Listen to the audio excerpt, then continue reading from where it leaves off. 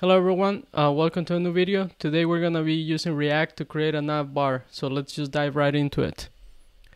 So for the last tutorial we just did the setup of a React app and what you should have before you start this tutorial is the following. So you wanna just issue the command npm uh, start and you should be um, and the browser should launch and you should see your uh, React application. So just give it a second here. I think I already launched them on my computer it's over here. So as you can see we have this right now which it just says hello world 2.0 and now we're just gonna um, we're, we're gonna create a react uh, nav bar. Alright so the first thing that we want to do is install react router dom which is um it's a library that's gonna help us route between pages. It's gonna help us switch between the pages. So it's gonna act as a navigation bar. So let's just do that first. So right now we have this running. So we want to stop let me just stop here. All right all right so in order to install the react router we're gonna issue the following command npm whoop, npm install react dash router dash uh, dom. So just click enter and it's gonna start installing.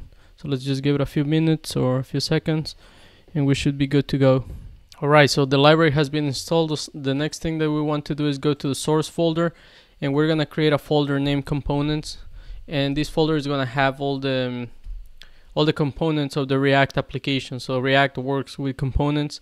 So each part of the of the web app is going to be a component. So in this case, the nav bar is going to be a component. If we want to add like a sidebar, that's going to be a component. If we want to add like um, uh, I don't know, like a card, like a like a section that's gonna be a component. So let me just so I just created like a, a new folder named components. So inside the components folder we're gonna create another folder and this is gonna be navbar. Uh, and then inside of that we're gonna create a file which is gonna be navbar.js.js alright so we're gonna go into navbar.js and we're gonna do the following imports. So we're gonna import react from um, React from React. Oop. We're also gonna import, uh, we're missing this. We're also gonna import link from the library that we just we just installed, which is a React Router DOM here. You you can find it, and we're also gonna well, those are the imports that we need. Well, now we're just gonna create the the component, right? So Navbar uh, for now we're just gonna have like a like a div. It's gonna be like a list with the um, with all the you know the the tabs I guess in this case. And we're gonna use link to so the one the first one is just gonna be the home page. So you can just do that home page there. And then just say like you know this is the home page. I messed up here all right and then we'll just create like a bunch of these. Uh, it's gonna be inside the div and we're just gonna change this to uh, maybe there's a page that's about. All right so we did some imports here and afterwards we created a component uh, we're returning a div and inside the div we have the um, it's just a list of uh, the different tabs of the different pages that we're gonna have. In this case homepage about blog contact and we're using link as you can see here and this is uh, you know the attribute to so this is gonna point to you know the home page it's gonna point to the about page to the blog page to the contact page. And once a user clicks on you know any of them it's gonna point them to this path which is gonna be like you know uh, a different page in this case.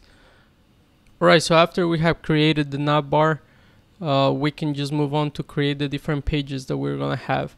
Uh, let me just rename this nav uh, capitalize just the N and then what you want to do is you want to go to source and create a new folder named pages.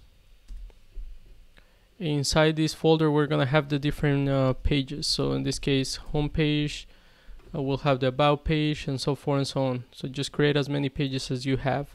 Alright and inside of these uh, pages we're gonna we're gonna have to we'll just have something just like a like a simple template just for now. So let me just copy this from the navbar and then I'll just uh, so we don't need this. And let's just change this for we'll just have like a like a heading tag here. And this is gonna be homepage. Let's rename this as well homepage. Alright so we'll just have something like this for now in all of the pages. Just don't forget to change this to the page that you're in. Let's go to app.js for this page we're gonna need to have a couple of imports here and then we're gonna have all the pages and all the routes to the different pages. So let me just get rid of this. And then um, let's just start importing stuff. So so what we need here we have we need a browser browser router as. And here we need router just router. We used to have switch that was used before in the ver uh, before version 6 since we're using version 6 uh, we need routes and we also need router. Or route rather. Yes and we're getting this from the, the library that we just uh, installed in the beginning of the tutorial right? So we also need the nav bar that we just created. So just bring the nav bar component from well in this case we have it's in components and we have nav bar and then we have nav bar. Okay. And we'll do something similar for the rest of the for the pages now. So instead of nav bar we have the home page. And then the path is gonna be different. So it's gonna be pages. And then we have the home page. So we'll do the same thing for the rest of the. Alright so now that we have all the imports that we need we can start just uh, setting the routes. So what you want to do here is you want to have router and then we have well we need the nav bar uh, not like that. We just need the component right? And then we'll have routes. And the different routes that we have we'll have them here. So we have route then we have the path which is going to in this case the home page right? And then before you used to use a component so now and equal to the whatever the component was. So like in this case in this case it would have been a home page but now we don't use this anymore for for this version of the library. And once again I'll put the link in the description so that you can check uh, you know the latest updates of the library so that you know how to use it. So now we need element and here we need to have the so like the component like this. And then we'll close that. And that's how you have to set your routes now. So let me do the same thing for the rest of the pages. And of course just don't forget to change this. We have about all right so now we have the different routes. We have the nav bar. And I think we're pretty much uh, good to go. All right so let's just run the application. So just go and issue the command npm start. And I think I closed it that's why it's taking a little bit. So let, let's just wait for it to to pop up. Alright so we have the nav bar. It's working. If you click yes it's working. So if you click on the home page you know you have this route. If you click on about you have the slash about blog contact and so forth and so on. And we get the different uh, pages or whatever we have in the different pages Alright, so now we are gonna start the navbar and the next thing that we're gonna do is um, we're gonna go back to navbar.js we're gonna go to components navbar and we're gonna create a new file named uh, navbar styling styles yeah the JS just call it that. Uh, you want to go to the terminal and in the terminal we're gonna install the following packages. So we're gonna install npm install styled components alright so after you have installed that so we're good to go. Alright so for this styling it's gonna be really simple.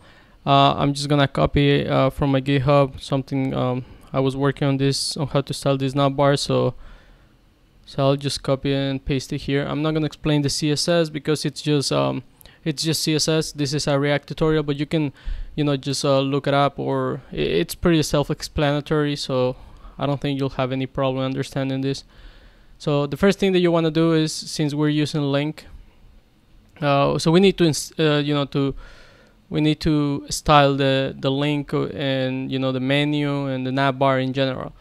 So what we're gonna do is we're gonna say that import nav link as link. So now nav link is gonna be link. So if you go back to nav, navbar.js we were using link, but now we will be using navlink which is the same thing. Uh, so we're just assigning link to navlink uh, Uh, just to be the same thing. And we're importing it from react router dom we're going to import style from styled components. And the styled components library allows you to write css code into a javascript file. And that's what we're doing here. So just treat it like an element like a like a component. And you you can write like export const nav equal to style.nav which is what we're styling and then just write that you have to use the backticks and that's how we and then we write the, the css code. Do the same thing with the nav link. So it's just like um it's just like a link uh, that we're styling here. So you know just write the css code and in this case uh, you have to write it like this because this is like it's not like a common element. It's not like an html element. This is a this is something that comes from another library and the same thing for the nav menu. So in this case we're styling the div and then we use the backtick and then the backticks and then we just write the the css code. So just save this file and let's move into the navbar.js alright so a few things we have to change here.